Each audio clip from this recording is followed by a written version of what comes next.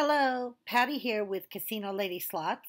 And if you're planning to visit Las Vegas and you're going to be downtown, you may want to stop in at the Fremont and check out Tony Roma's special from 9 p.m. to 11 p.m. nightly.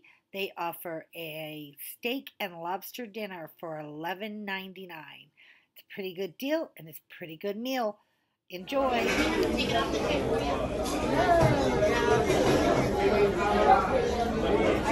So we are at Tony Roma's on Fremont Street in Las Vegas, and we are trying out the steak and lobster special. It's eleven dollars and ninety nine cents, and you get a nice little steak, a lobster tail, baked potato with butter and sour cream, and some mixed vegetables all for $11.99. And here is a little tip.